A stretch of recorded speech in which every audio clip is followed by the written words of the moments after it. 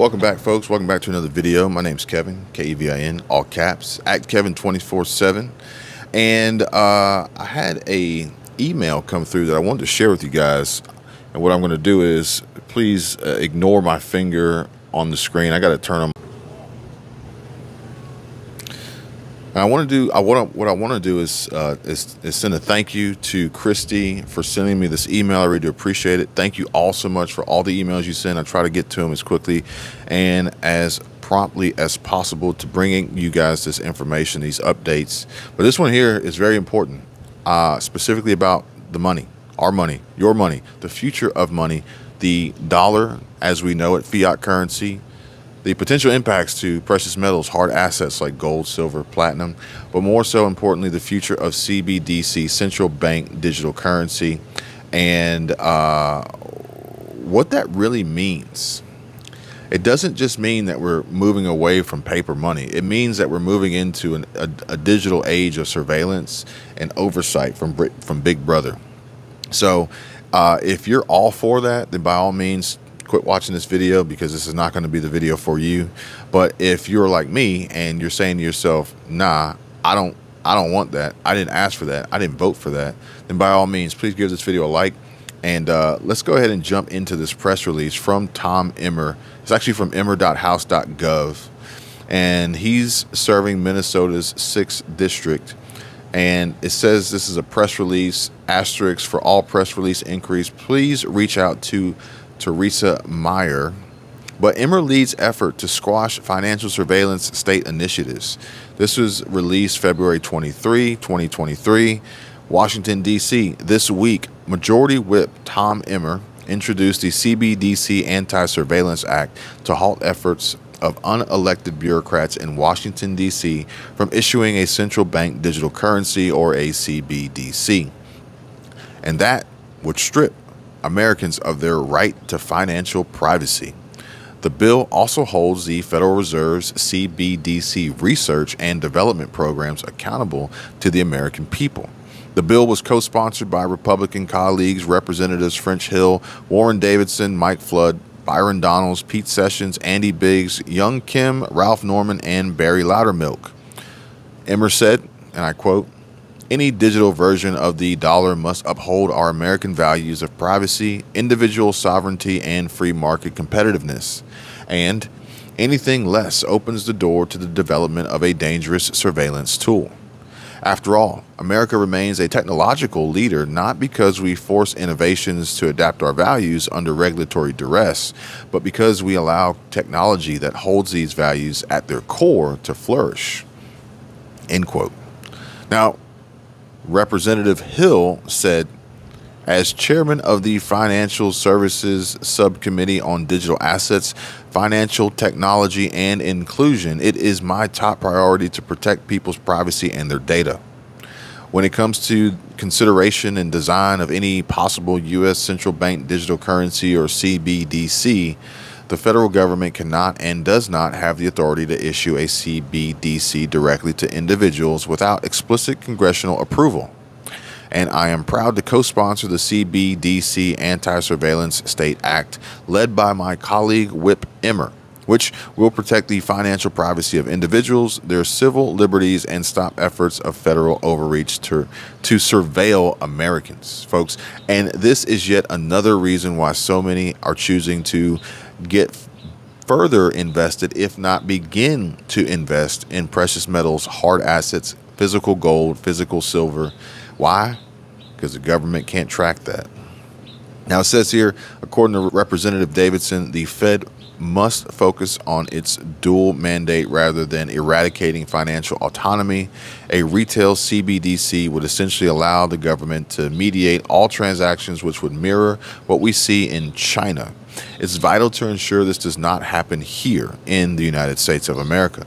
Representative Flood said, in a digital age, cryptocurrency represents new economic opportunities for America, but it's critical for private sector innovators to take the lead. The American dollar has long been a symbol of prosperity and freedom, and our digital currencies should be the same. The Chinese Communist Party's move to use government run digital currency to impose further control on its people and its economy is a cautionary tale that America must avoid. The CBDC Anti Surveillance State Act is a key step towards ensuring that Americans maintain their freedom, their financial freedom, more importantly, by prohibiting a centrally controlled digital currency as our economy continues to innovate in the area of digital assets. That's that's a lot, folks. I mean, there's way more to cover here, but that's a lot because literally, basically, what it boils down to is do you want to allow our government to shift and manipulate us to operate under a similar political ordinance, restrictions, laws like China? Republican, or I'm sorry, Representative Donalds said that as the Federal Reserve continues its study of central bank digital currencies, one thing has become clear CBDCs pose a clear threat to Americans' financial independence. Rather than following the lead of oppressive regimes like China and Russia, we should dramatically decrease the federal government's involvement in personal finances and look to the free market to guide the way regarding innovation. And that's why I'm proud to support Congressman Emmer's CBDC Anti Surveillance State Act, which prevents the issuance of a retail CBDC and ensures the Fed stays within its statutory bounds. But here's the problem, and this is not me taking a jab at anyone who relies on the government for aid, for stimulus, for assistance, for any form of government funded handout. It's not. However, the problem is they have conditioned so many to adopt and abide by these government programs to keep them afloat while also keeping them down and preventing them from ex- excelling and emerging from these programs only to rely on them every single day, every single week, every single month, every single year perhaps maybe even generation after generation, these are going to be the folks that are going to more than likely stand in line, cast their vote, raise their hand, vote yay on CBDC. Why? Because it will allow them to receive their benefits. Not necessarily understanding and realizing the implications of their actions and just how dangerous and detrimental this will be to us all. Now, it says that the U.S. government cannot move to issue a digital dollar without an act of Congress, and before that happens, Congress must first be completely certain a digital dollar can never be used as a surveillance tool. And that's why I'm an original co sponsor of Whip Emmer's bill, said Congressman Pete Sessions. I am also very concerned that a digital dollar would fundamentally reshape the banking industry to the detriment of consumers and the economy. Therefore, Congress must fully consider the negative and unintended consequences that could result from issuing a digital dollar, which I look forward to working with Whip on, or I'm sorry, on with Whip Emmer together on these very important issues in the House Financial Services Committee. Congressman Andy Biggs says that I applaud Congressman Emmer's latest efforts to protect the financial privacy and currency of millions of Americans.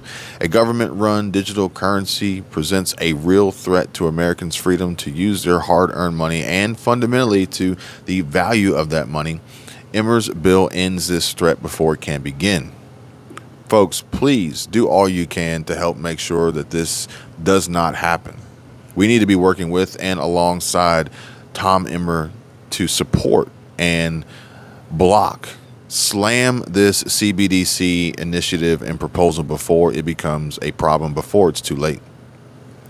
From big tech censorship to COVID mandates to now regulating digital currencies, unelected bureaucrats continue to push our nation toward an authoritarian state.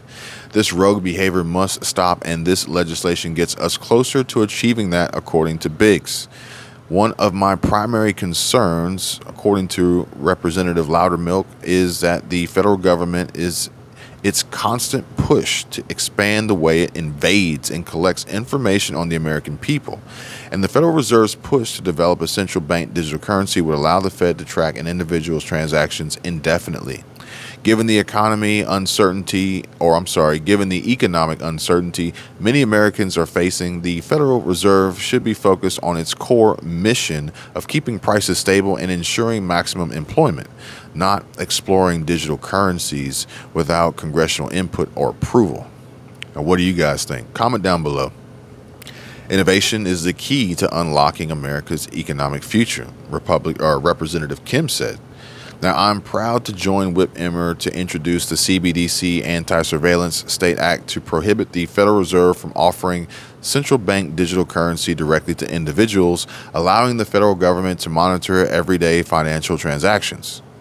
I'll keep working to promote financial freedom and economic empowerment for all Americans. While Re Representative Norman said we have enough problems with abusive government surveillance without the Federal Reserve becoming an instrument to possibly monitor and scrutinize individual account holders and their transactions. CBDC would create significant privacy concerns for Americans, so I want to thank Republican, or I'm sorry, Representative Emmer for his leadership on this important legislation. Specifically, the legislation prohibits the Federal Reserve from using or issuing a CBDC directly to an individual, mobilizing itself into a retail bank able to collect personal information on all Americans, and the bill also bars the Federal Reserve from using any CBDC to implement monetary policy, ensuring the Federal Reserve cannot use a CBDC as a tool to control the economy. Additionally, it requires that the Federal Reserve Board of Governors consult each Federal Reserve bank and the development of a CBDC study or pilot program and issue of a quarterly report to Congress on their progress and findings is required. The federal government must be held accountable to the American people. Wouldn't you agree? Now, Emmer has been a long-time advocate that any Fed issued digital dollar or central bank digital dollar or e dollar remain open, permissionless, and private. The CBDC Anti Surveillance State Act expands upon Emmer's bill from the 117th Congress, which would have also prohibited the Fed's direct issuance of a CBDC to individuals.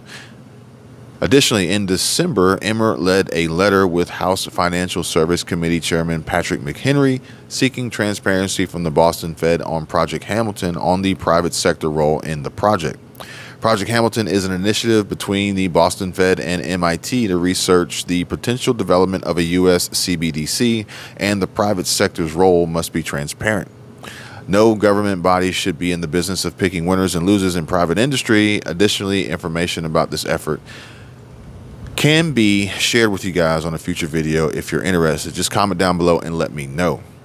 But there's some strong implications here from Executive Order 14067 pushed by the current Biden administration to get CBDC rolled out, which, as you can see here, or at least have heard from what information I've shared with you from emmer.house.gov, we are literally on the verge of seeing the government have big brother control, a uh, enemy of the state like control, a minority report like peek look into our lives every single component aspect, every penny, every transaction, every move you make would be tracked, traceable, and or dictated and directed.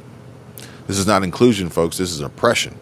This is very, very alarming, very concerning, a huge warning, urgent news, urgent update, and I hope you guys are paying attention.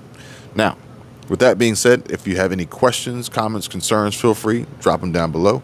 As always, there are 100% free links in the description, as well as information for those who are concerned about this economic storm and how your IRA and 401k will fare during these turbulent times. Folks, top experts are predicting now is the time to be protecting your assets with physical gold and silver.